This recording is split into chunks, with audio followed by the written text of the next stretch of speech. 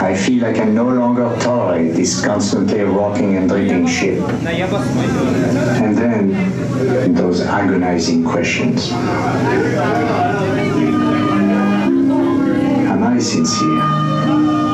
Why am I doing all this? And who, after all, cares?